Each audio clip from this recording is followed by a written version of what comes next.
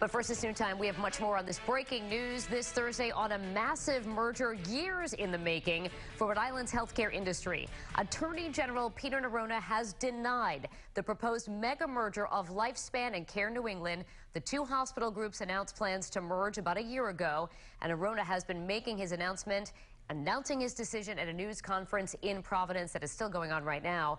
Target 12 Chief Investigator Tim White is live in our studio with the breaking details on this merger denial. Tim.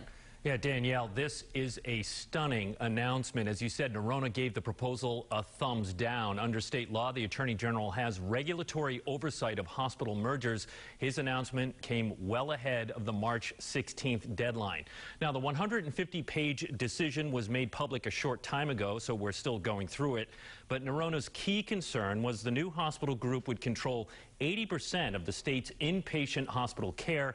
He noted the biggest hospital groups in Massachusetts and Connecticut control less than one third of inpatient care in their states.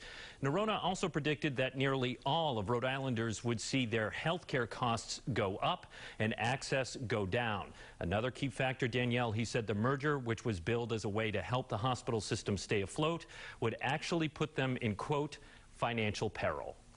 So, in other words, don't give us a set of objectives. Don't speak in generalities. Don't give us things that all sound good.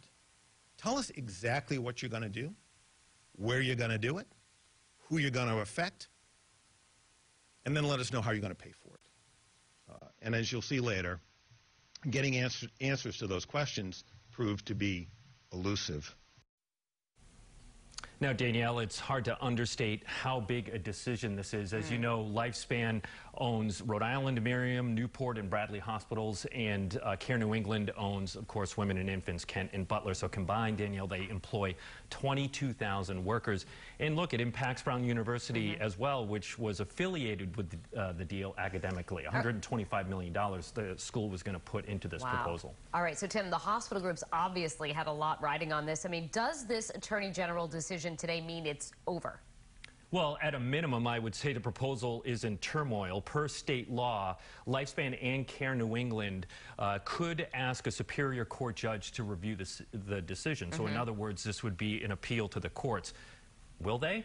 I mean, that's the big question. We'll see. Our colleague Ted Nesi is at that news conference right now, so he'll be covering it throughout the day. You know, and speaking of Ted Nesi, he filed a report on um, our social media pages just before noontime. I mean, this was a lengthy and expensive process, this proposed merger here. Yeah. I mean, a stunning uh, total, I believe, is close to $28 million for yep. this process, right? Yeah, they had a lot of skin in the game, is yeah. what you're saying here. Both the hospital groups and, as I said, Brown University. And more bad news for both of them. Uh, Ted also tweeted out a short time ago that one of the regulatory agencies that is looking at this are the feds, the FTC. Mm -hmm. uh, and he said that the FTC and the Attorney General are actually going to file suit to block this merger. So that really tips the hand as to what the FTC is going to decide on this one. Not good news for the proposal. All right, and the Attorney General wrapping up his comments. We, of course, will have continuing coverage throughout the day on this stunning announcement from the Attorney General. As you know, we've been tracking the potential for this massive hospital merger every step of the way. Our team coverage will continue tonight on 12 News at 4. Tim will be back. Ted will be back as well, bringing you updates when they come in to alert you on our news app. You can find any of these breaking news articles as well at WPRI.com.